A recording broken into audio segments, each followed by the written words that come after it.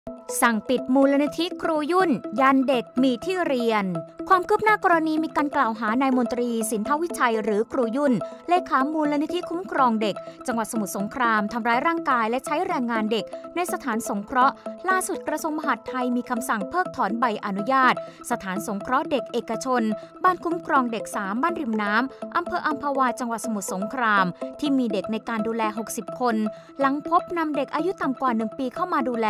ผิดหลักเกณฑ์ที่อนุญาตให้รับอุปการะเด็กระหว่าง 10 ปีถึง 17 ปีจำนวนไม่เกิน 60 คนในฐานะนิติบุคคลเท่านั้น และยังพบพฤติกรรมการตีเด็ก และการทำร้ายร่างกายเด็กอีกด้วย ขณะที่กระทรวงการพัฒนาสังคมและความมั่นคงของมนุษย์ ย้ายเด็ก 10 คนสุดท้าย อายุระหว่าง 4-13 ปีออกแล้ว ยันเด็กทุกคนมีที่เรียน พร้อมสั่งตรวจสอบการดำเนินงานของสถานรองรับเด็กทั่วประเทศ กำชับให้ดูแลเด็กให้ถูกต้องตามมาตรฐานและกฎหมาย